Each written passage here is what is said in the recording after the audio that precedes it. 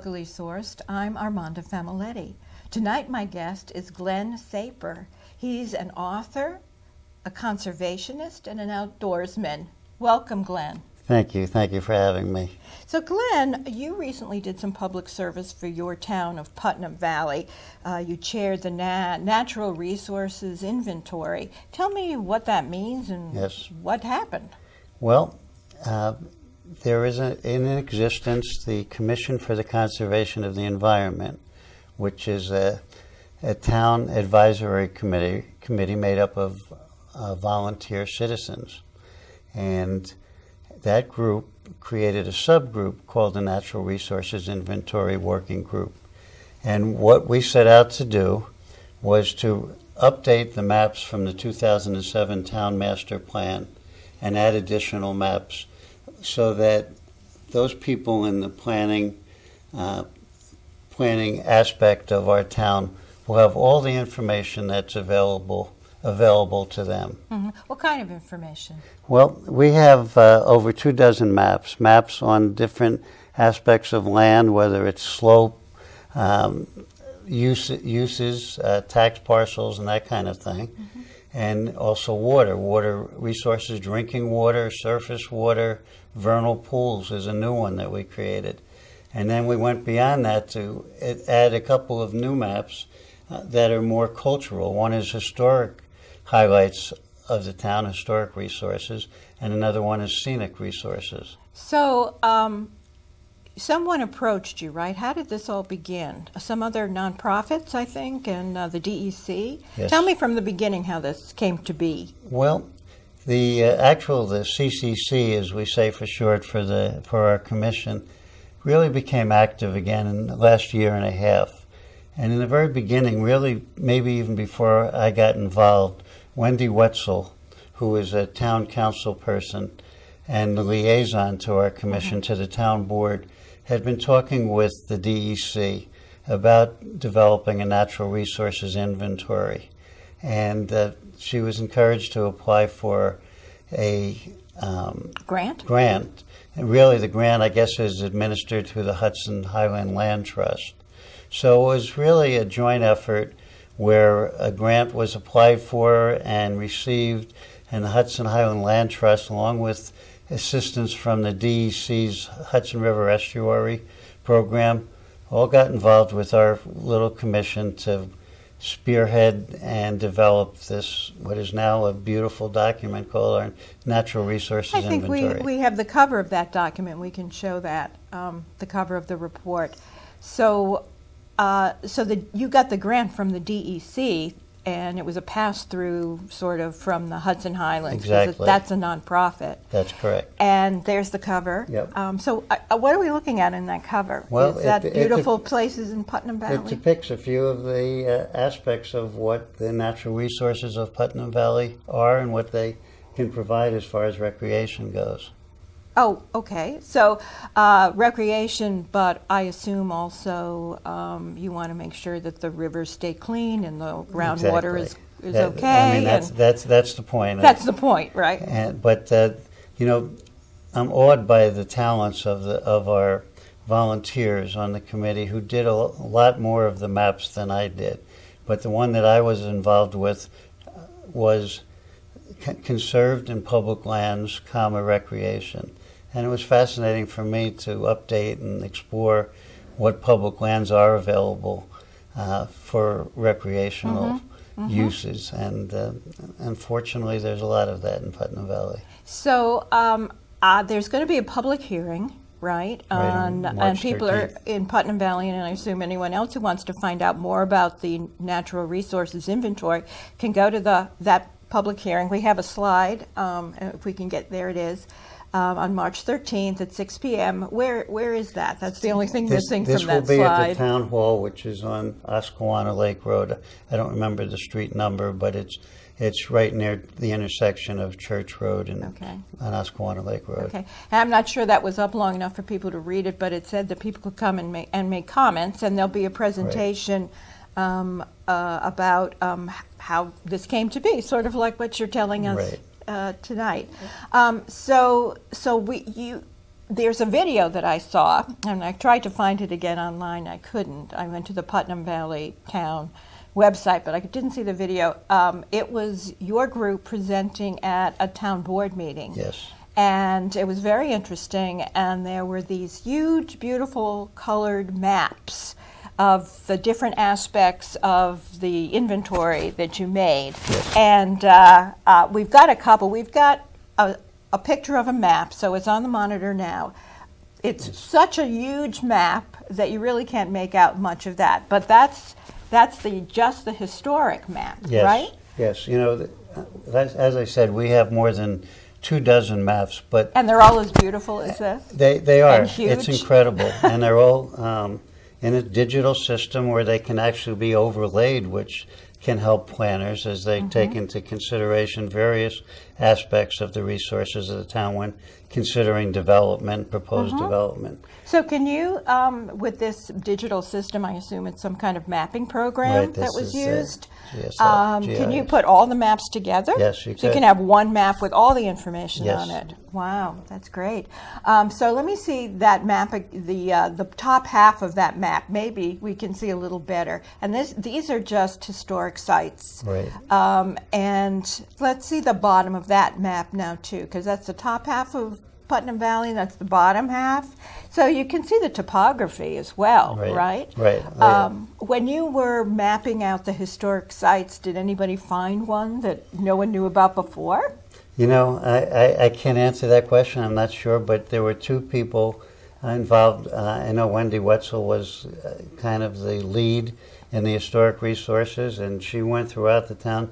She worked with Sallie Sypher, who at one time or another had Oh, been. well, I've had Sally been- on the show. Yeah, well, you know that she was the county historian and, and our town historian as well. So, with her assistance, um, they they mapped out most of the historical resources. It's kind of interesting because all of They the left maps out are a few. complete. Is that what you're saying? Yeah, what I'm saying is that, that that the historical resources map there are actually two versions. One for the town planners that will know about every historical resource in the town that we were able to map, and then others that we felt were sensitive and perhaps didn't want to have the public going to see because of the possibility of vandalism. Ooh. So it, there are two versions of the historic That- map. so there's a secret treasure map That's of the only historic places. Well, that's maybe you shouldn't have said that, Glenn. It's kind of on the QT. But anyways, um, so there we have another sample map, and that was of The of scenic resources. resources. So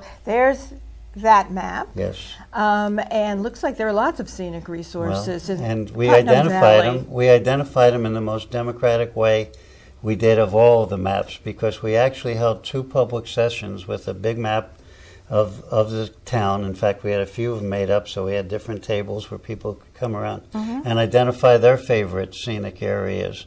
And we identified both the scenic viewing spot and the view itself, and made sure that they were publicly accessible. And uh, we also Very actu- democratic Yes, we actually placed the the map also online with the help of the Hudson Highland Lands Trust, and people could go online and designate their favorite scenic areas. So we really got a lot of public input that way. Oh, that's terrific. Yeah. Um, so let me see the top part of the scenic map. Um, and I guess everywhere we see a star, that's a point Exactly. that's a scenic. Exactly. And all of those stars are publicly accessible. Yes. And there's the bottom half of the map. So looking at this map, I'm going to say Putnam Valley is, is extremely scenic. well, we think so. I suspect that's why most of us live there. and all now, were there any hidden scenic places that you don't want the public to really go and see? Um, not that I'm aware of. Uh, So there's no s- secret scenic map. no, because if there are any secrets, I don't think people would have revealed them let us put them on the map. Okay, so they're really favorite, favorite scenic place Yeah. they probably didn't even Yeah. talk about because they want to keep it for themselves. Right. Maybe there are some secrets out there that we haven't mapped. So, and you said that, I think I asked before, did, did you find anything new? I mean, in all the different mapping that you did, which you said there were 12 different maps, so 12 different. We have no, it's scenic, we many- have Many historic, more than we 12. have. There are over two dozen maps. So scenic, historic, what are the other maps? Well, I hate to pull out notes, but this is the Well, table there of contents. More of- than a dozen, and, so. and I can just tell you that we have geology and topography, bedrock geology, steep slopes, streams and watersheds, under water resources. One of the new ones was vernal pools. You know, these are the bodies of water that disappear in the in the summer, but are Uh-huh. there in the Come back spring. in the spring. That's Um, where the peepers are. Exactly. It breeds it breeds life, uh, whether it's it's frogs or salamanders or, or other insects and, and creatures. Uh, and now we've mapped that out as well with the help of infrared uh, mapping tools. Wow. It's just it, it's incredible the technology that was brought into this, and we citizens can't take credit for that, but the mapping company that we worked with was able to pull in all of the resources that are currently available and inc- incorporate them into our maps. Okay, so the working group, I I get the picture of these volunteers. How many of them were there altogether? There were about a, a half a dozen of us. Six people did this. And you went out to every corner of Putnam Valley and you had some kind of a, a camera or a list or how did you how did you do this? It must have been very systematic. In some cases, it wasn't a matter of going afield, but just finding all of the information that's currently available and then pooling our knowledge. Uh, in other cases, with the historical map, for instance, it was a matter of going out to these different places and getting coordinates. The same thing with some of the water and land maps, where we, we actually went afield and what we needed to do was communicate the coordinates to the cartographer, and then he was able to make it happen on on paper. Okay, so did you have special equipment for this or No. just tape No. measures? It's our telephones and GPS and Oh, that kind of thing. Oh, Okay. So you did have a lot of technical help, it sounds like. And who provided that?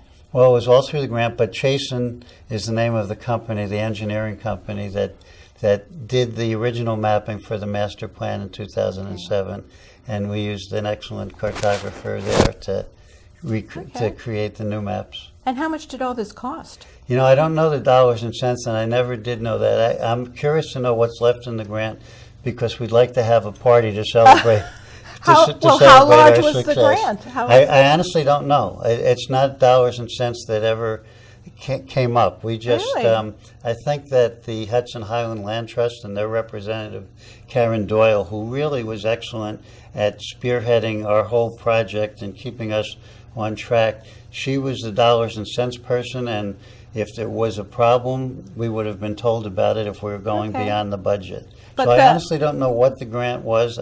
If the grant was granted before I got involved, uh, and and I never heard it. I do know what our next meeting. Yeah, and that would have been my first question, Glenn. But we, we did what we had to do and it came within budget. And uh, one of the things on the agenda for our next meeting and last meeting, which I created, is how much money's left. okay, so but the important thing is that the taxpayers of Putnam Valley didn't pay for any of this. Exactly right. No matter what the cost was. right. So that's really important because I would think that every town in New York would want to have a natural resources inventory. So, like if Carmel wanted to do it, how, how would we do that? Who do we contact? I, I would suggest that uh, they contact the Region 3 office of the DEC to get started. Okay. and um, and go from there because the people that we worked with were from the DEC um, to help us get started and to give us the major guidance. Uh, Okay. People primarily with the Hudson River Estuary program of the DEC. Okay, so we, the taxpayers of New York, pay for the DEC, and so I guess, Yeah, and the in a way, our tax money did go to fund this, but not just uh, Putnam Valley Exactly. taxpayers. Okay, um, so do you think it was worthwhile? Well, that remains to be seen. I certainly think that it was worthwhile. The, to know that we've put together all the available information and created more information that wasn't available and got these on maps in a modern system where the maps can be overlaid and so on and be able to provide not only the public but most importantly the, the people that make the important decisions in our town as to what development takes place Mm-hmm. Right. And will have that at their disposal. Is that going to include the Putnam County legislators? You know, we. Uh, Putnam Valley sort of is, is sort of in the middle of Putnam, right? And whatever goes on there affects all uh, the county. the information will be avail- available to everybody. So, um, whoever would find need for it will be able to uh, use them. And, and even though the hearing on the 13th will be to formally adopt it, in the last month we've sent out the NRI with a, a link to the NRI to not only all of our town officials, but to county officials as well, including the county planning department, wanting them to know what we've done, wanting them to review it and make any comments and corrections if they saw any. Right. And so far, it's all been good. You don't happen to have know that URL off the top of your head, do you? It's about, I think it's about 25 characters, Uh, uh, so no. Okay, all right. So what about going to the Putnam Valley Go to Town the- website? Would you be able to find I, information I would think there? you can, and certainly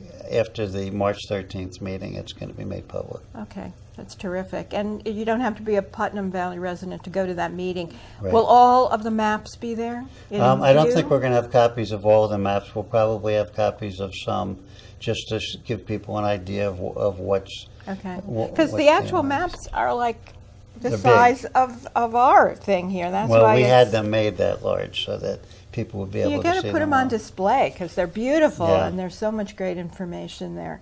Um, so I'm going to just sort of uh, shift gears. Sure. I mentioned at the beginning of the show that you're not just a public servant and a volunteer, but you're also an outdoorsman, an author, and a conservationist, right? So, and you recently, after a career, I guess you made your career writing about the out of doors. Right. You've put your favorite articles together Yes, in one book that you've edited. And we've got a, a picture of that book. I think it's leather bound. It looks, Yes, it looks is. very fancy Leather, there, Glenn. Well, Very thank you. Although that makes it look sort of like a slim volume, and the book is actually how many pages? Yeah, it's uh, 480 pages. Wow. Are there photographs or? No, um, there are not photographs. It's it's no illustrations. It's just my words, for better or worse. Now, what drove you to, to, to do this? It sounds like a Herculean task. Well, my career has, has been 50 years long. It's included being an editor for all of the major outdoor magazines, what they call the Big Three, and working for a couple of others. 27 years as the outdoor contributor to what the Journal the big News. three? So that's Russia, the United States, and China. Well, that's, that's impressive. Outdoorsmen think of it more important, more important terms: Field and Stream, Outdoor Life, and Sports Afield magazine. Oh, that big three. That big okay. three. All right. So I was an editor with them, and in fact, the first person to actually serve on all three mastheads. And uh, as I said, I wrote the outdoor column for the Journal News for 27 years. I've contributed to dozens of Are you still writing the outdoor column? No, that ended about a year and a half ago, and soon thereafter, having learned of my availability, New York Outdoor News, which in my opinion is the is the best and most comprehensive outdoor publication in the state, um, invited me to be a columnist. So I do Oh, do one for them now. That's your only column that you're writing now? Um, plus some freelance articles. I, I retired from full time work about four and a half years ago, and one of the reasons I did so was to be able to write what I wanted to write about for whomever I wanted to write so about. So you were assigned to go go to uh, Canada or some other beautiful sporting place. Uh, Somebody had to do it. yeah, it was, sounds like a really tough life, but you know, you, you hung in there and you did it.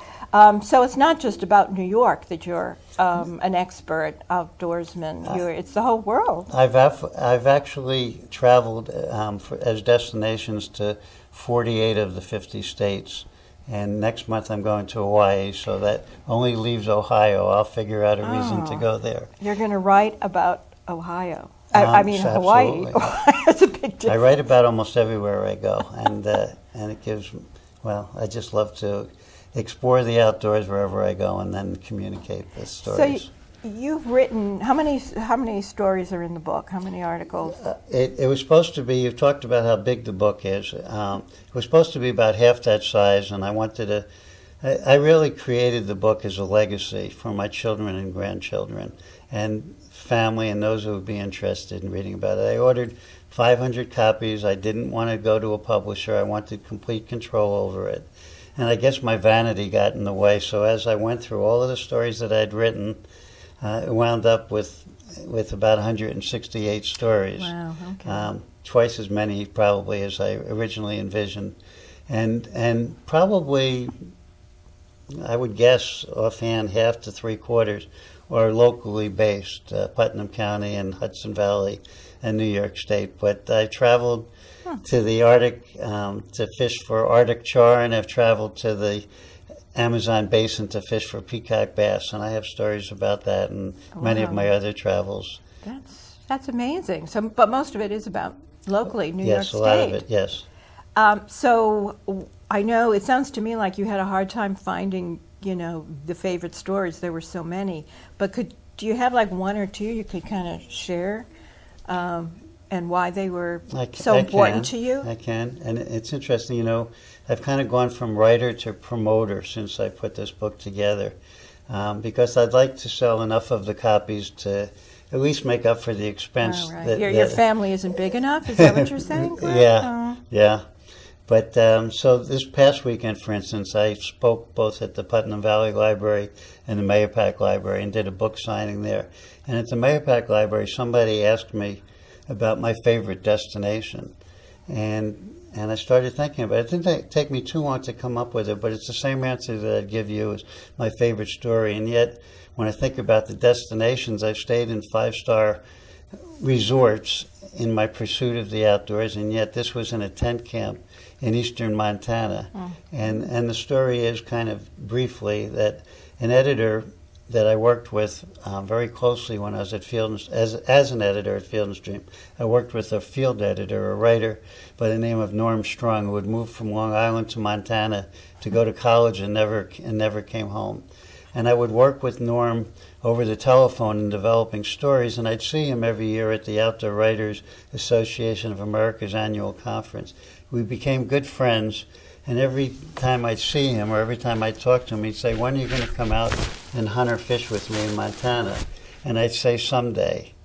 And one year, Norm didn't come to the OWA conference, and I was told that he had a hernia, and that prevented him. Well, that hernia that I heard about in June turned out to be a malignant tumor, mm-hmm. and by October, Norm was dead. And I grieved for him and his wife, and when I stopped grieving for them, I realized that there were other relationships like the one I had with Norm that I wasn't going to let slip away. And uh, I called up a friend with a similar similar relationship and said, "We're going hunting this fall. I don't know where or f- I don't care where or for what. You plan it, but I want to be with you for a week." And we wound up hunting mule deer in eastern Montana in a tent camp that looked like MASH uh, headquarters. Oh, yeah. I assume this is the summer months. um, no, right? actually, we, we hunted in, I think it was November, Kinda and uh, we, we we did fine. And uh, just spending time with this friend for a week and do, sharing the outdoors, uh, I wound up calling the story "Don't Let Someday Slip Away," and uh, I'd say that's my favorite story in the book. Yeah, so it isn't just like where's the best place to fish and what's the best gear to use, and it's really personal stories that you put in Somebody, somebody who, who bought and read the book said that that my humanity came through in the book, and I'd like to think that's what the book is about.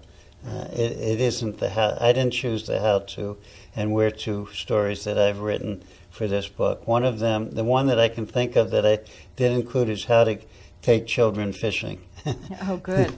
because it, it, it, you have to be educated. You can't just go out and expect to fish and expect your kid to fish and expect to have a good time. Right. Well, don't you spend most of the time on the snags? Exactly. Yeah. You've so you really need to undo the snags. It sounds yeah. like you've been there. I, I, I'm, I'm the creator of the snags, actually, and my husband undoes them. So, Right. um, and speaking of my husband, who's an avid fisherman in these parts, we moved up here because of the beautiful reservoirs and brooks and streams. I have to ask you, where's the best place in Putnam to fish?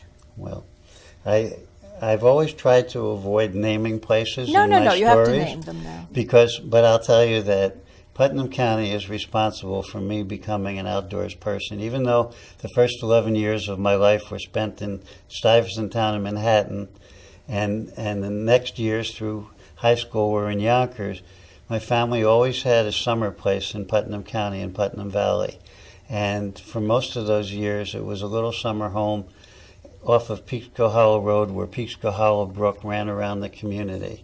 And that's where I learned to fish. It's where I grew up in the outdoors, and it's where I still love to fish. And I won't, I Is won't pinpoint any areas, but that's the trout fishing So spot. I, I- so you don't want to say it publicly, but after the show, you'll tell me exactly where it is, right? well, we'll talk about it. And you'll show it to me on the map, right? Come on, Glenn. That's just not me. That's the thing with fishermen; they keep it all to themselves. You're a very close-mouthed bunch. If I can tell you a very brief story, one of the first you have a minute. Uh, one of the first trips I made for Field and Stream was to a place in Nevada where I didn't see any other fishermen except for those in my group. And um, I was told by the Fish and Game Department that this that the areas could use the, could withstand pressure from fishermen. I wrote a story called "Trout Full and People Empty." It came out in May, and I received a letter from the campground administrator in the uh-huh. campground next to the reservoir I wrote about, wrote about, and he told me that on Memorial Day weekend they had to turn away a thousand people from the campground. And I have to presume it's because of the story I wrote. So I learned very early in my career not to name places. Okay. All righty. Well, I appreciate that then, and we will talk after the show, and it's just me. Um, I won't tell anyone what you Okay. tell me, uh, but I do want to thank you for the work you've done for Putnam Valley and getting everybody together to do that uh, natural resources inventory. And I hope it gets lots of publicity, and I hope all the towns in, in Putnam Valley, I mean in Putnam County, go out there and get a natural resource inventory. Thanks so much for coming on the show. Thank you so much for having me. Thanks for sharing your stories with bet. us. And thanks to the crew who comes out so faithfully and to the viewers who watch.